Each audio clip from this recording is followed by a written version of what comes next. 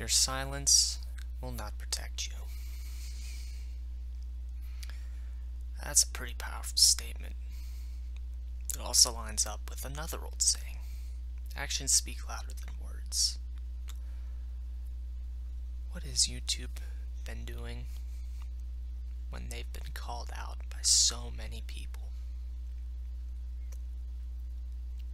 So many individual content creators who produce content that needs to be seen but gets silenced by YouTube because it doesn't line up with the brand friendly image they line up. And when it, the creators ask why, YouTube remains silent.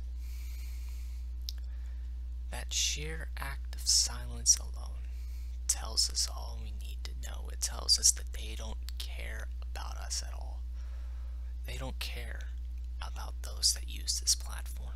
They only care about their the multi-million dollar corporations and the poster childs of the inner of their website.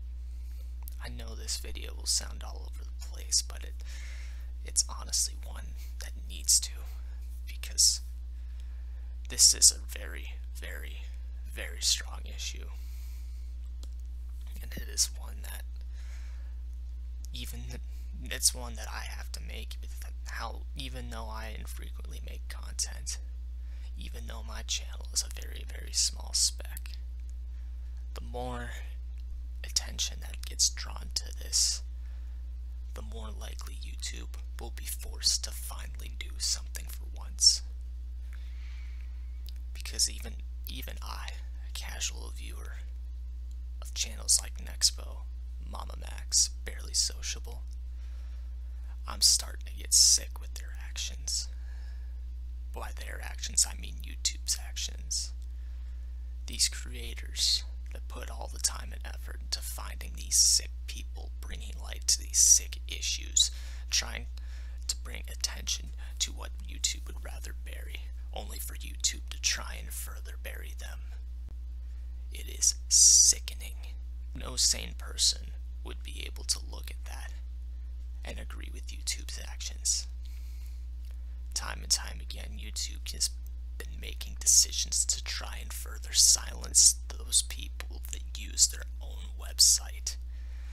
They no longer stand for what the, the original YouTube stood for. Broadcast yourself. That doesn't mean shit now. That's not what they care about anymore.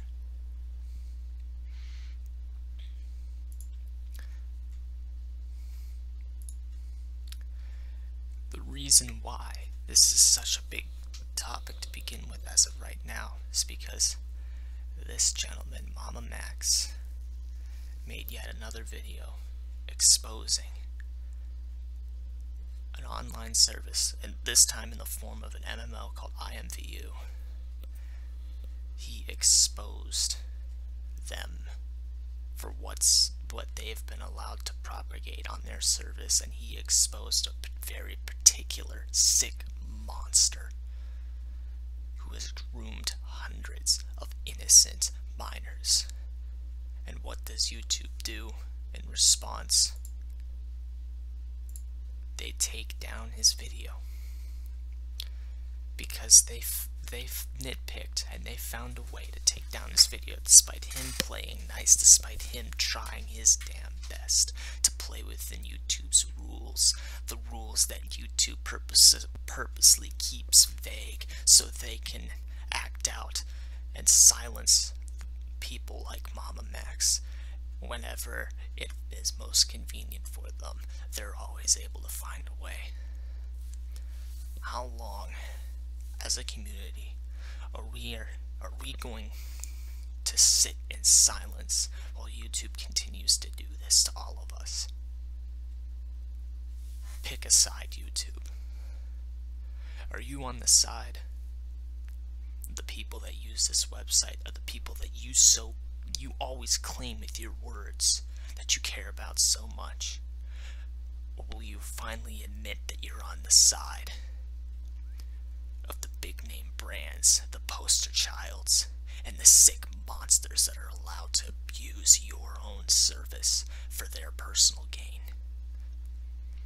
Sick monsters such as EDP 445, Onision, among others.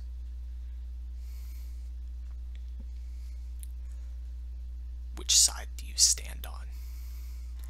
Because we, the community, we demand an answer.